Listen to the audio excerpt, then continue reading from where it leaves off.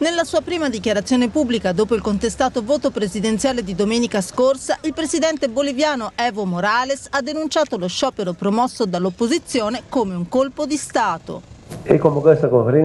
Ho convocato questa conferenza per denunciare davanti al popolo della Bolivia e al mondo intero un colpo di Stato in corso, anche se voglio dirvi che già lo sapevamo, la destra si è preparata al golpe con l'appoggio della comunità internazionale, ha affermato Morales, ribadendo di essere sicuro di aver vinto le elezioni, nonostante le polemiche legate allo scrutinio che in un primo momento dava possibile un ballottaggio con il rivale conservatore Carlos Mesa.